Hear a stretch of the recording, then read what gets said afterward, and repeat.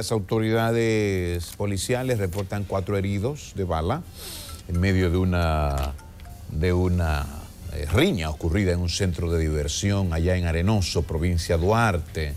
Los lesionados fueron identificados como Ariel Rondón Polanco, Martín Holguín, Margarita Serrano y Evelyn León. Fueron impactados de bala en distintas partes del cuerpo. Todos los heridos son del distrito Los Guaraguao de la zona del Bajo Yuna.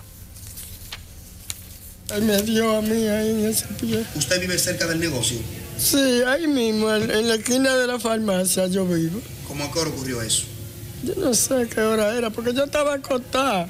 Yo me di un espanto cuando cayó y pues sonaron los tiros y salgo para la sala y cuando salí a la sala, ahí mimito se me pegó esa bala a mí. Llegó un tipo y, tirando tiros ahí otro y salimos todos avaliados ahí.